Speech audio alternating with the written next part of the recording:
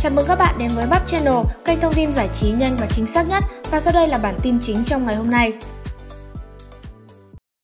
Thì Carrick gặp nhịp điệu cha cha cha. Mới đây trên trang cá nhân, quản lý của Carrick đã đăng tải một đoạn clip ghi lại khoảnh khắc hết sức đáng yêu của Carrick trên nền nhạc hot trend một thời, nhịp điệu cha cha cha. Đoạn clip được chia sẻ cùng dòng trạng thái tuần mới vui vẻ như một lời chúc và cách lan tỏa năng lượng tích cực đến những người hâm mộ của Carrick trong ngày đầu tuần. Có thể thấy Carrick từ ngày luôn mang nhiều nguồn năng lượng tích cực, thoải mái và tươi sáng, khác hẳn với hình tượng khuôn ngầu trên sân khấu. Được biết đây là khoảnh khắc được ghi lại trong một buổi photoshoot của Carrick và đã được quản lý bật mí trong những ngày trước. Nhí nhố là vậy, nhưng khi vào công việc, Carrick luôn hết sức chỉnh chu và chuyên nghiệp. Trước đó, quản lý của Carrick cũng đăng tải rất nhiều khoảnh khắc đời thường đáng yêu nhí nhố của Carrick, khiến nhiều người hâm mộ cười ngã nghiêng. Các Kicker, tên gọi fan club của Carrick, cũng không quên chia sẻ lại trên các hội nhóm. Những khoảnh khắc này của Carrick chính là vitamin tích cực của người hâm mộ trong những ngày chờ đợi các dự án mới của Carrick.